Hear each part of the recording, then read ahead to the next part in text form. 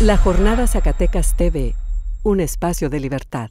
Bienvenidos a la Jornada Zacatecas TV Noticias. Les presentamos la información más sobresaliente del día. Casi 6 de cada 10 mujeres reconocen haber sido víctimas de violencia en Zacatecas.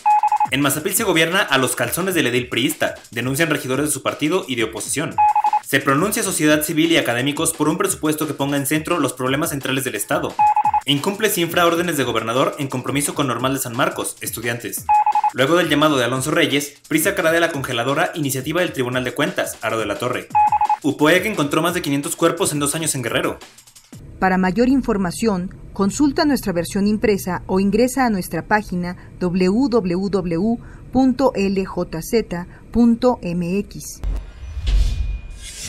La Jornada Zacatecas TV, un espacio de libertad.